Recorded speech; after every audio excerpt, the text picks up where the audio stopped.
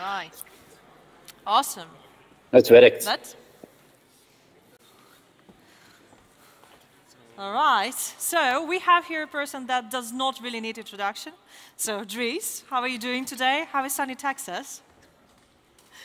Um, it's good. I've, I've um, I arrived here around midnight last night. Oh gosh. So I haven't seen the sun yet. Well, yeah. But I'm, I'm sure it will be soon. I can imagine, like, sorry for not, not getting you to sleep longer, but, well, you know, it's really great to, to have you with us, uh, although you are missing out really not being here in Pension. but yeah, so I think that we will not waste the time because I know that all of you guys, you have a lot of questions for Dries. So let's get to it, I guess. So please, the first question. No? Well, that is surprising, though. Test. Really? You can ask me anything. So somebody needs to have a question for Dries. Come on. Something about, yeah, here I see a question.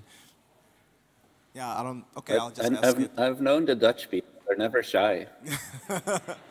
Um, yeah, I'm, I'm, I'm pretty new to the um, how do you say the open source concept in this in the sense of uh, business-wise. Like, how do you, um, yeah, simply put, uh, how do you earn money give, uh, you, um, having open source um, software like a like Drupal, a CMS basically?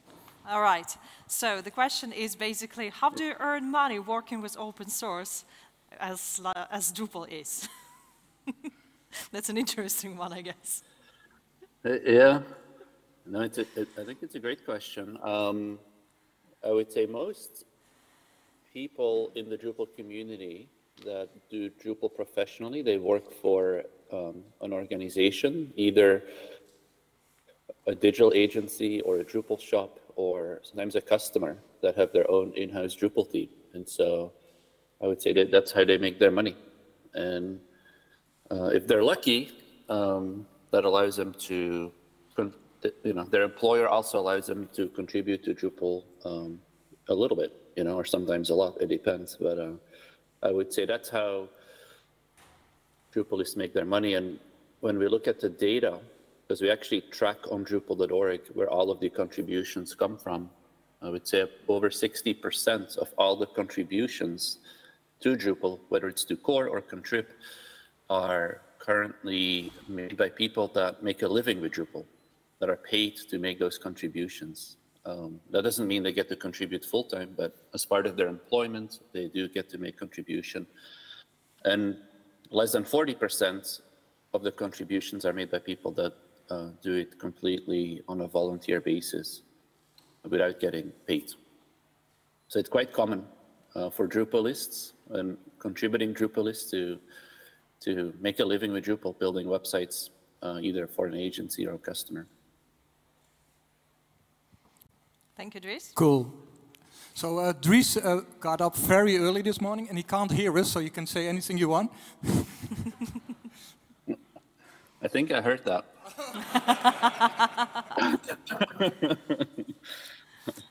Hi, Dries. I have a question for you. But not, not very well, so it, it is helpful to repeat the question Yeah, I will do that. if there is a question. Yeah, Yes. thank you. There is a question.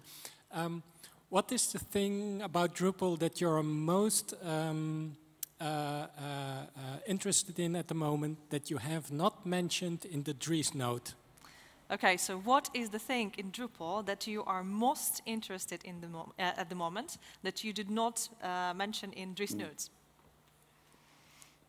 Well, that I haven't mentioned yet. Actually, I think um, the whole movement around um, AI and generative AI, I think, is pretty interesting right now. And I know there's concerns and questions about, um, you know, ethical and legal concerns with these things. But at the same time, I will say it feels very, very, very exciting to me.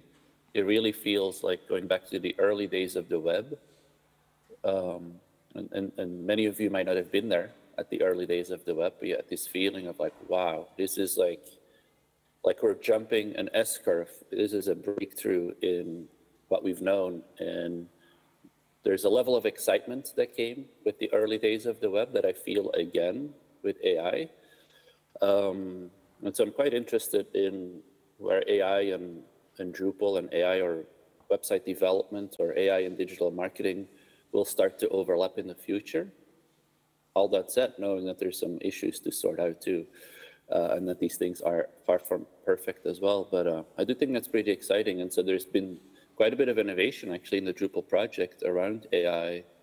Um, you know, Velir, uh, which is a Drupal agency and Sitecore agency, I think they have uh, been doing quite a bit of work about with integration between Drupal and ChatGPT and using um, AI specifically to do things like helping you brainstorm titles for your articles that you write in Drupal or generating tags from content or uh, helping you summarize an article with the goal to write like the Google uh, rich snippet description, the meta uh, description, and, and lots of other use cases. And I think that's interesting and feels like a, a big trend, that feels like an unstoppable trend uh, as well. So I think it's important for us to figure out, um, yeah, what we do with that in the Drupal project. And I'm quite excited about all of the experimentation that's going on in the Drupal project uh, right now.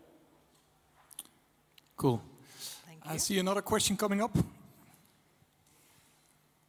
Um, although uh, we should all move to Drupal 11 quite soon, um, what is your personal opinion on uh, all the big Drupal 7 projects that are still out there? Should we abandon them or uh, how long should we keep supporting them? Right, so although we have to move to, uh, about to move to Drupal 11 pretty soon, what's your opinion on Drupal 7 projects and uh, what should we do with those? Shall we abandon those? Abandon those?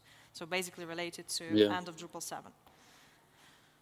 yeah, I mean, it's a difficult topic because there's a lot of different elements to this topic. So the, on the one hand, um, I care deeply about making Drupal 7 users uh, successful because uh, I realize that many of them don't have the means to maybe migrate to Drupal 11. And I told this in my last uh, note, I think, but um, can maybe tell that story real quick. But my dad is a medical doctor, and one of his patients um, somehow knew um, that I started Drupal, and she she was using Drupal 7 for a nonprofit website, and they spent their entire budget um, on basically building a Drupal 7 website and integrating it with CiviCRM as a CRM system. And, um, and she told my dad um, at his practice, like, yeah, I'm really stuck. Like, you know, I read that I have to upgrade and you know, we took almost a year's budget for our nonprofit to build the website, and that was only, you know, five years ago or something. And she couldn't believe that she had to upgrade again. And she's like, we just don't have the money. And um, to me, that, you know, that, that there's like a personal aspect to that in the sense that um, I care about those organizations and what they do because um, you know, was a nonprofit that she ran to help other people, right? So on the one hand, I want to support Drupal 7 sites as long as I as we can. At the same time, we've been supporting them for a long time, and we've given these owners a lot of time actually to migrate. And um, I think some of them may just never migrate, you know, and I think that's probably okay. And I also believe a lot of them will churn to other systems because when we built and released Drupal 7, which is now, I don't even know how long ago, but more than 10 years ago, um, the market looked quite differently and the Wixes and the Squarespaces didn't quite exist. And so a lot of these Drupal 7 sites, they're probably better off using a Wix or a Squarespace today uh, because these systems didn't exist and also Drupal has evolved. So I think we're getting to a point um, where we may have to leave them behind you know, because it's also slowing Drupal innovation down.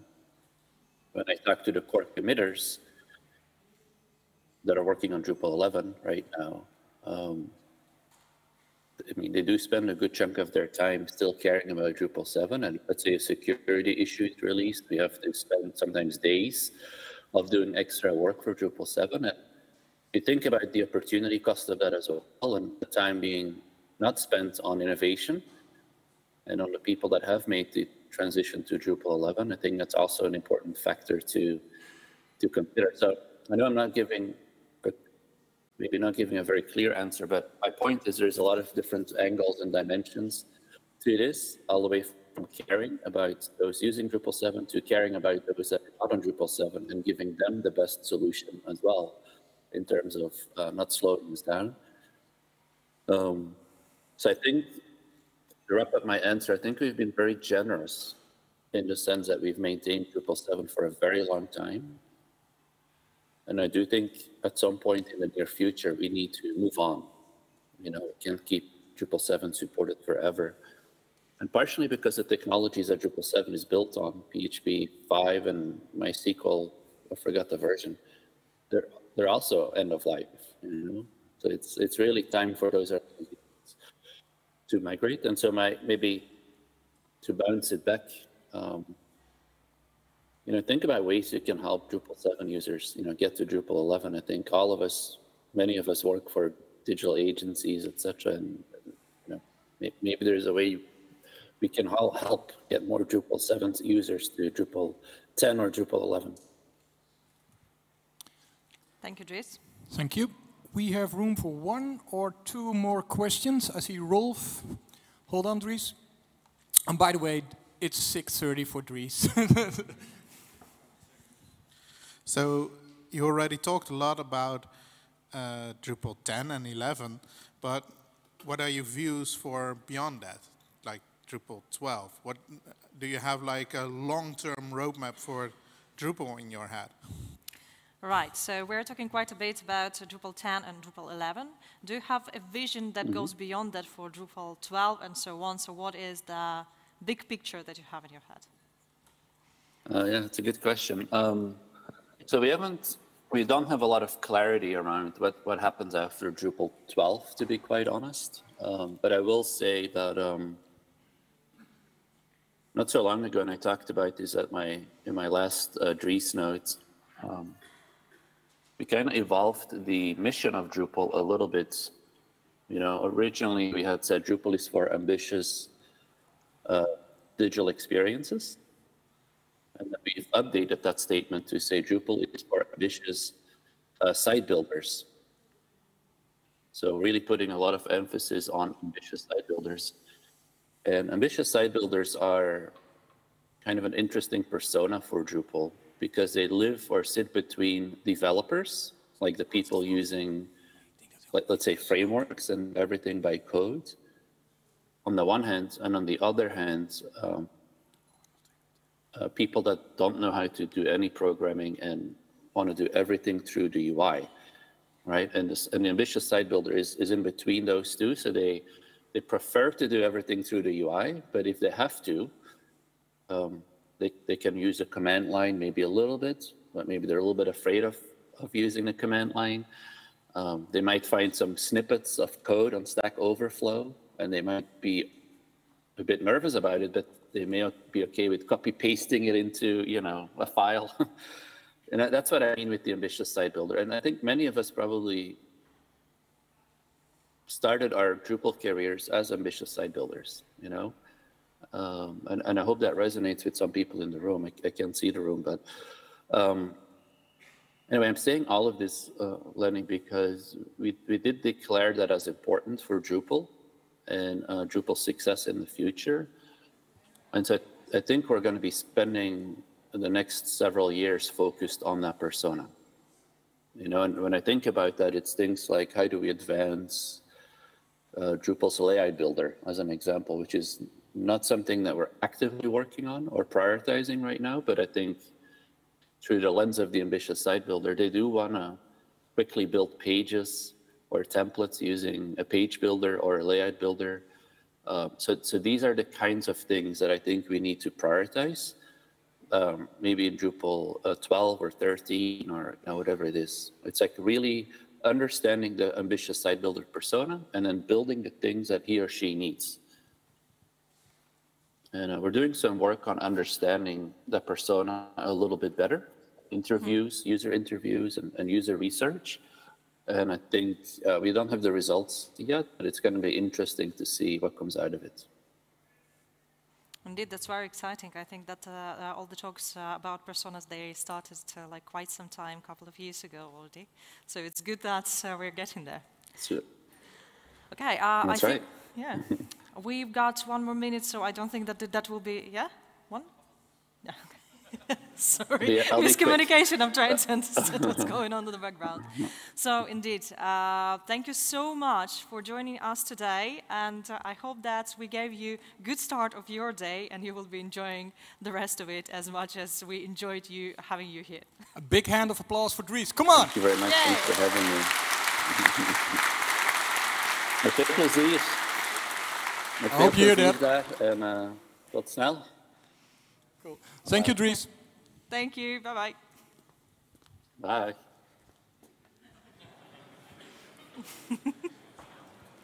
Okay, and that was for you, my friends, Q&A with uh, Dries. I- Perfect. I think we lost our clicker. Are you coming over? Yeah. Yeah. Right. So let's just do that. Shall I announce that? I don't know.